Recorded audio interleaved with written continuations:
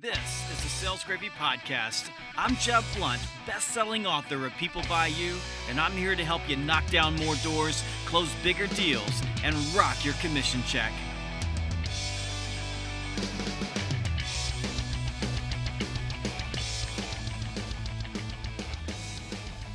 On this episode, you're going to learn how ultra high performers bend win probability in their favor to gain a competitive advantage. And one of the tools that we use to bend win probability in our favor at my company, Sales Gravy, is Discover.org.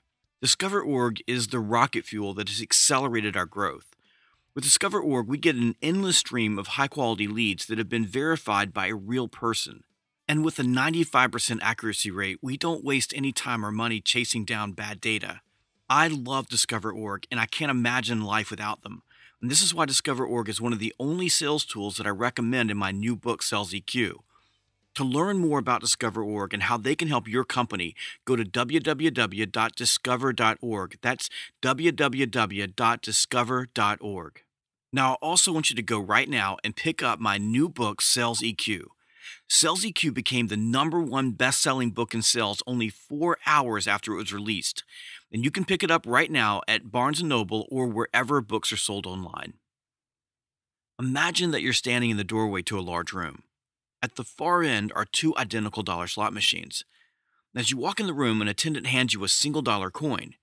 You're offered the choice to play either machine, and you'll get to keep the original coin plus any winnings. As you walk towards the machines, you notice something curious. Above each one, there's a sign with a number on it. One sign reads 93 and the other 33. You turn back to the room attendant and ask while pointing up at the signs, What do those numbers mean? The attendant smiles. Smart of you to ask. Most people never do. Those signs indicate the win probability of each machine. On the first machine, you have a 93% probability that you will win your dollar back plus more. And with the second machine, you only have a 33% chance of winning, or in other words, a 66% chance of losing. So, which machine will you choose? Well, of course, it's a no brainer because the smart bet is on the machine that gives you the highest probability of winning. And this is how ultra high performers play the game of sales. They manage win probability. In sales, there is no one size fits all solution for every situation. Complex sales are different from one call closes. Calling on a business is different from selling a car. Selling software requires a different skill set than selling office automation equipment. In sales, context matters. Every prospect, sales conversation, territory, company, and product is different and requires salespeople to adapt and adjust to those unique situations. There is no black and white. There is no easy button that will make sales work perfectly every time. In some situations, you'll do something completely inappropriate and still manage to close the deal. In others, you'll run the sales process like a textbook and fall flat on your face. It's what I find so beautiful about the sales profession. There are no guarantees, no magic pills, and no holy grail. There is only poetry and probability.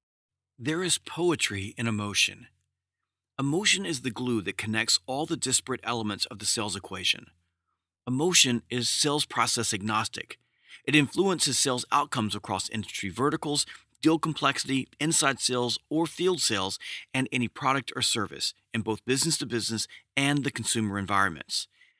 It's the ability to manage and leverage emotion that creates the highest statistical chance of winning that separates ultra high performers from everyone else. You see, ultra high performers never forget that they're dealing with emotional, fallible, irrational human beings. And they work hard to gain a deep understanding of the motivations, desires, needs, wants, fears, aspirations, and problems of each stakeholder in their deal. It's mastery of sales specific emotional intelligence, or sales EQ, that explains why one person becomes an ultra high sales performer while another is just average, even though the intellectual ability and knowledge of the two people are equal. You see, ultra high performers are virtuosos with people. They shift win probabilities in their favor through perceiving, controlling, managing, and influencing non conforming, irrational human emotions. They possess a toolbox full of influence frameworks along with the agility to apply them in any situation to improve the probability of getting the outcome that they desire. And let's be crystal clear Your ability to shape and influence win probabilities is the only reason you have a sales job. Consider a potential buyer opening your company's website to look for a product. And if, when they open the page, the probability that they click on a buy button and enter a credit card and make a purchase is north of 80%, you would be unemployed. Your company would need only to focus its resources on getting more potential buyers to that page. Purely transactional purchases like this don't require salespeople to shape the win probability.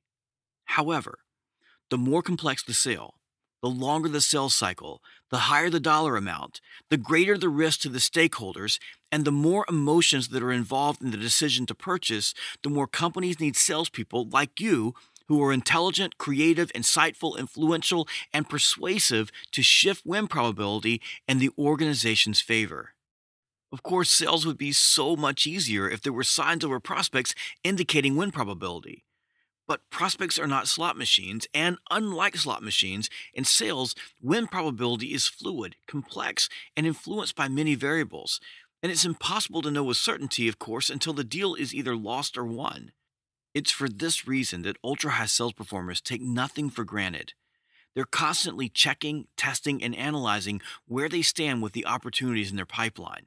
And while average salespeople look in awe at the performance of ultra high performers, believing that ultra high performers have somehow defied the odds, the truth is that UHPs are perfectionists, managing every element within their control to shape and influence and bend the odds in their favor.